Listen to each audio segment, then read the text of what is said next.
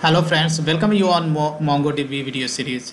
In this video tutorial, I'm going to show you how to install MongoDB shell.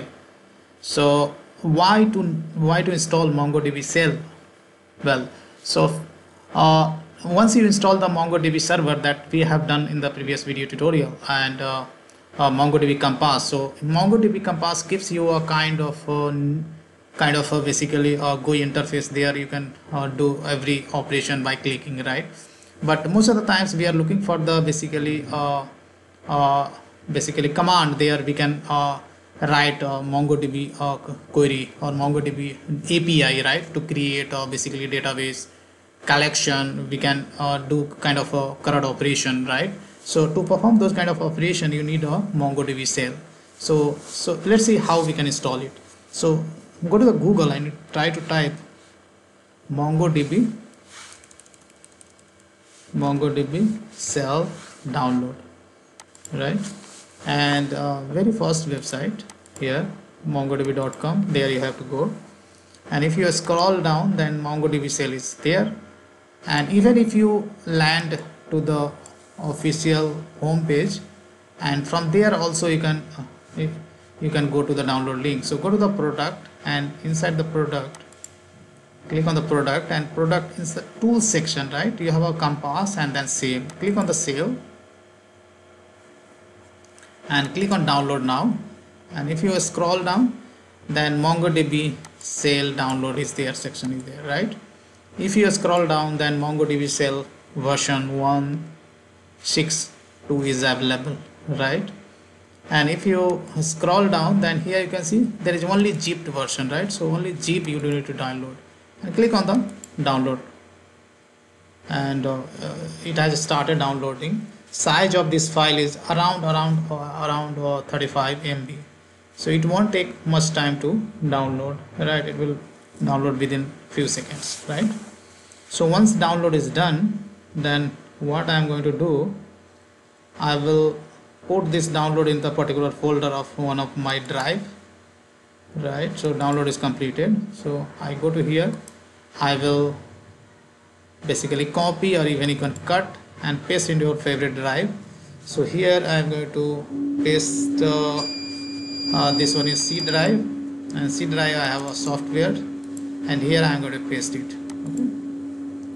And after uh, basically pasting this one just you need to extract it right?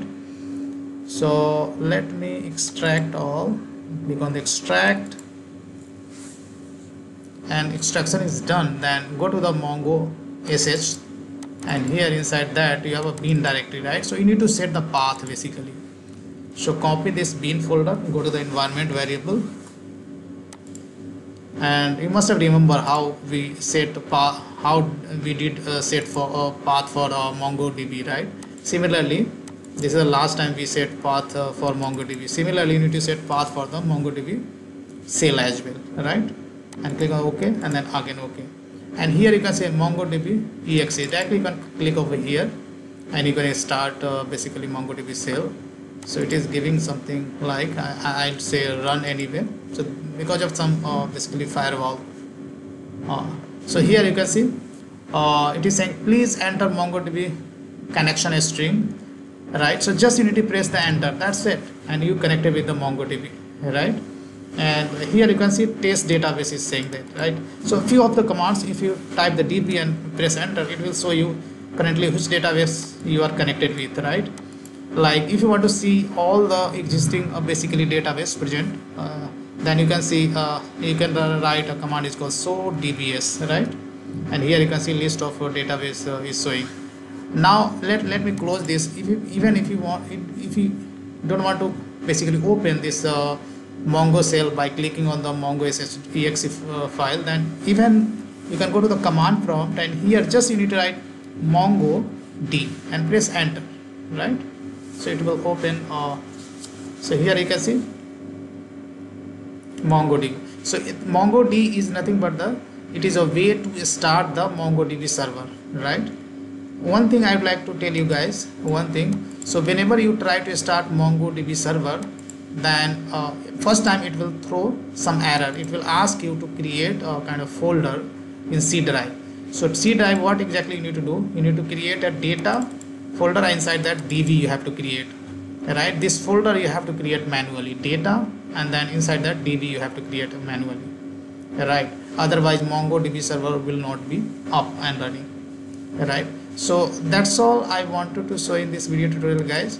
How to install mongodb shell on windows machine. So thank you so much for watching this video and see you there in the next video tutorial